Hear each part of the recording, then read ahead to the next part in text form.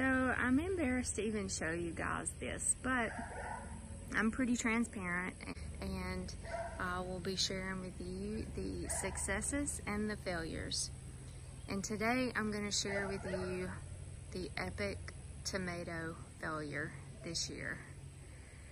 I started out really good. You know, we got them in the ground. I pruned them.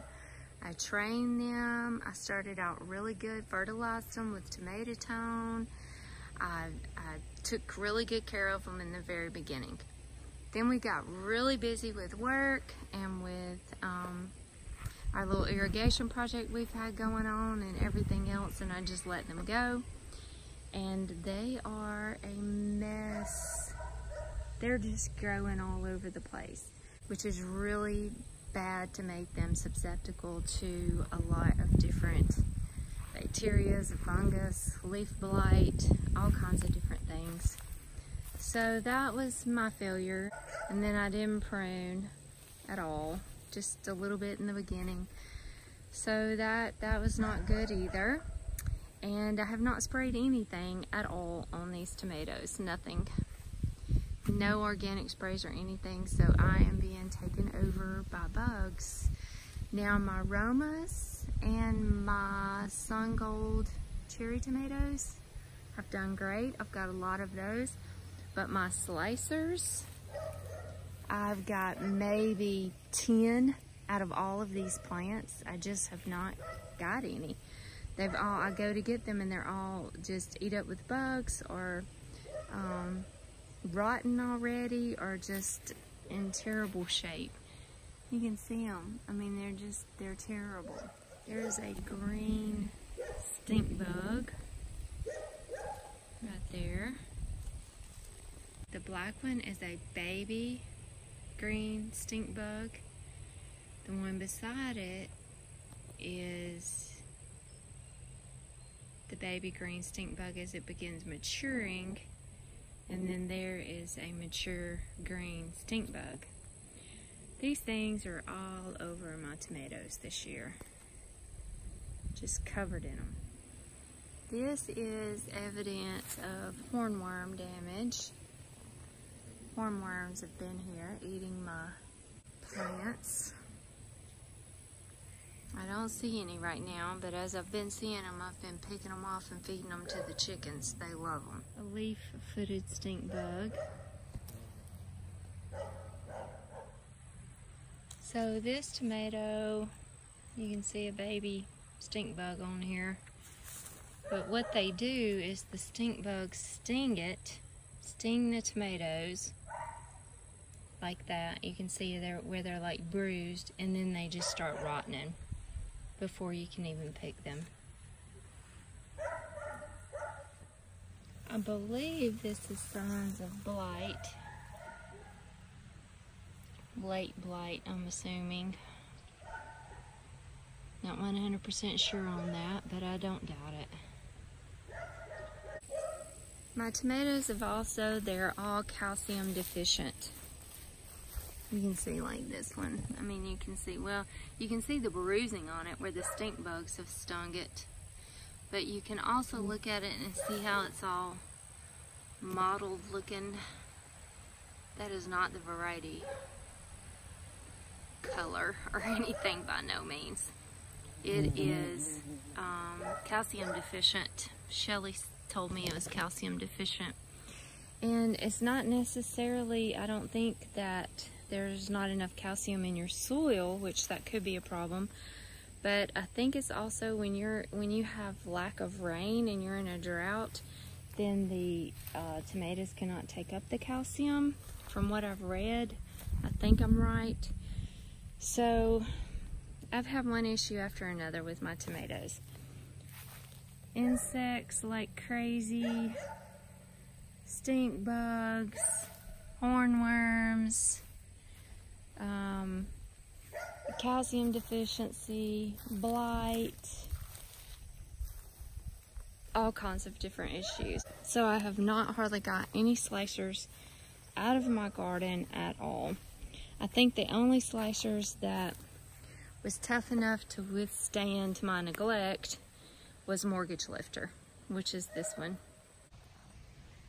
The mortgage lifter has a really cool story. It's an heirloom tomato and in the early 1930s there was a man named Marshall Byles. He lived in West Virginia. He owned um, a small repair shop at the bottom of this big mountain which the mountain was always known to make trucks overheat. So he was pretty smart in his strategic business location because um, when trucks would overheat on the mountain, they had to roll back down the mountain for and have radi uh, radiator repair. So he was pretty smart in that. But he got his nickname as Radiator Charlie because of that. Um, the Great Depression was coming, and he started looking for other ways that he could, you know, make money. He had absolutely no experience in growing tomatoes, but he decided he wanted to develop a large, meaty tomato that could help feed families. So he took a baby syringe and he cross-pollinated um, the German Johnson heirloom tomato with about nine other different varieties. And he worked on this on developing this these seeds in this tomato for about six years until it finally met the criteria that he was looking for. Um, and when it did, he started selling the seedlings for about a dollar each, which was a lot of money in the 1940s. It was so popular, it was such a popular tomato that people drove hundreds of miles just to come purchase these seedlings and he ended up being able to pay off his $6,000 mortgage with the money just from the tomatoes. And it was named Radiator Charlie's Mortgage Lifter Tomato. So that how it, that's how it got its name. So today I am going to start taking out, I'm just going to get rid of them. I'm just going to take out all these tomatoes. Some of them that look like they may potentially have some possibility with some good looking green tomatoes on it. I might keep those and come in and spray some neem oil or something to try to annihilate some of these insects. But for the most part, I'm just ready to yank all these out. My squash is done. It's over with. I've already been pulling those out. I've got um, okra. My okra's coming on really nicely. It's doing good. We've I've already got okra put up in the freezer, so the okra's doing great. Gene came in and pruned all of the lower leaves of the okra off. It helps the okra to produce more and better. Plus you can see what you're doing and what you're picking. No surprises come out and grab you. Um, but by pruning the lower levels of the okra, it just helps them, to, the energy to go into producing more fruit. So he did that for me. I've got lots of eggplants that I need to come in and harvest. These are just little baby eggplants. I'm excited to try these. There's lots of them in there. And this one is called Hansel. It's a different kind. It's like a longer eggplant. So I'm excited to try these. My zinnias are pretty. They're starting to play out a little bit, some of them, but they still look good. My sunflowers are pretty. They're doing really good.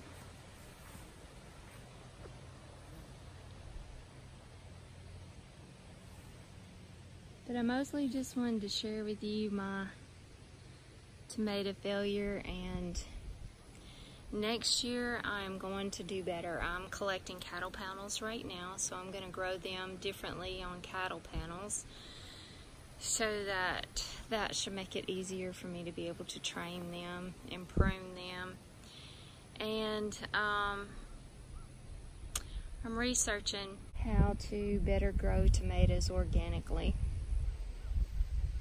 So I'm working on that and my goal for next year is to have tomato success instead of tomato failure.